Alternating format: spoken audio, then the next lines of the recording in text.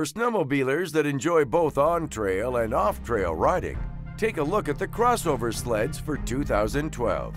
But now we're going to go into the crossover category and fish. This I think is one of my favorites. You know, you couldn't ask for four better snowmobiles, so we're going to go out there, tear it up in the mountains, and see what they got, fish. Let's give her. We ride the Ski-Doo Renegade Backcountry X. The things I really like about the Renegade Backcountry, first of all, the 800 E-Tech, gobs and gobs of power, low emissions, great mileage. I love the seat. It's just the right width. It's narrow at the front, wide at the back. Absolutely love it. The one we rode had an inch and a half track on it, which worked really well off trail. Side hilling worked really well, and then it lent itself, of course, just great to the trails, and the bumps felt great.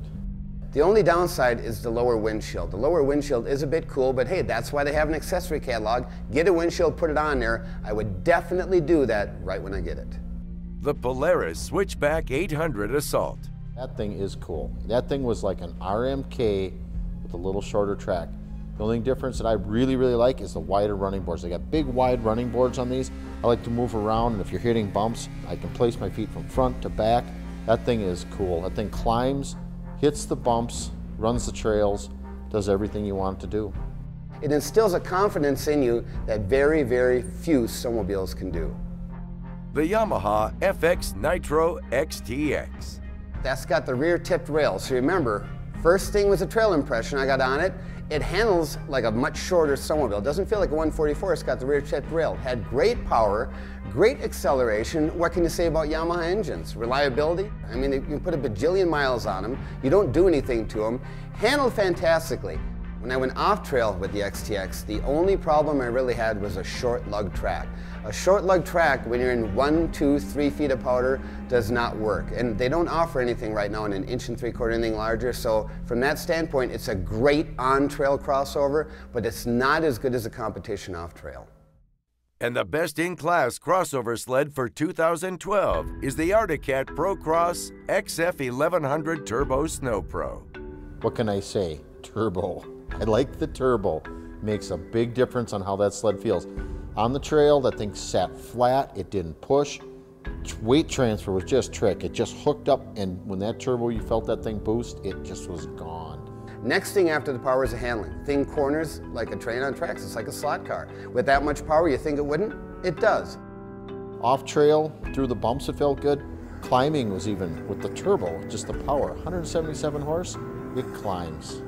Nothing pulls or rips like that thing does. If you want the ultimate in performance, the ultimate for climbing, and 177 horse to blow the doors off everybody on the trail, you gotta check out the Arctic Cat XF 1100 Turbo.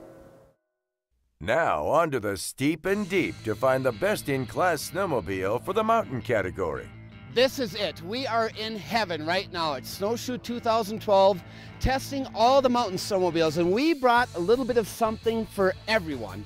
You're going to see some of the greatest snowmobile riders are up here. We've got mountain experts here. We have guys that are going to give you footage that is going to be so spectacular. I cannot wait to see it myself. Fish, how good are these guys? They might put us in our place, or maybe they won't. We'll have to find out, right? They're going to make us Flatlanders look like just that Flatlanders. Check out the video, watch, and believe what you see. First, the Arctic Cat Pro Climb M1100 Turbo HCR. That thing has got big power. Now remember, you've heard it before, you're gonna hear it again. 177 horsepower. But it's making 177 horsepower at this elevation. Everything else is losing 3% per thousand feet. So they're way down on power. Big advantage for Arctic Cat. Now put that into a brand new chassis, the Pro Climb chassis.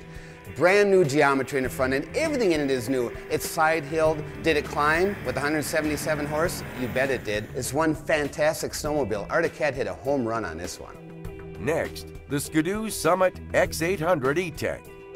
Fantastic sled. Basically the same sled we had last year that we really loved, but they made some nice refinements. The first thing, the biggest thing I noticed was the new track. They put a two and a half inch Powder Max 2 track the new handlebars are tapered, a little more driver friendly for the Summit. And also in the very back on the X's, they put a little two-door compartment to put water bottles, goggles, gloves, just to have some added storage. Just a lot of real nice refinements they made to make the whole package work. It's incredible. There's nothing I could not climb on a summit. We're in some pretty steep climbs, three to four feet of powder. Never bogged down, never burned in, never had to turn out. The snowmobile is very, very good.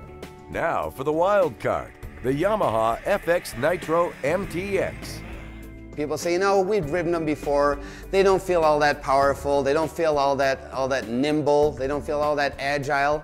They don't until you put a supercharger on one of them. The other one had a turbocharger. When you put 190 horse into a Nitro MTX, it's a completely different snowmobile. It was absolutely incredible. Remember now, it's aftermarket.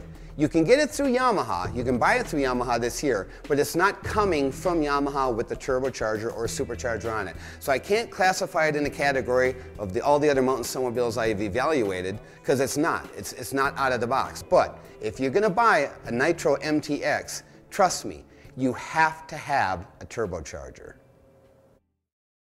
The best in class mountain snowmobile for the second year in a row is the Polaris 800 Pro RMK. If it isn't broke, don't fix it. When you have a product that good, leave it alone. And that's exactly what Polaris did. It feels so good. It feels so light, so agile.